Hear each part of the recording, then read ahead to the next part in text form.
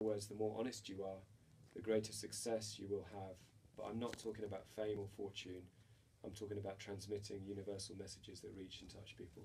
So most of the time, the songs that the songs that reach our hearts that we listen to, or that go, God, I can relate to that, is because it's a universal human experience. It's something that we we've we've all we can all relate to. You know, it doesn't matter where you live. It's like certain songs that just do that.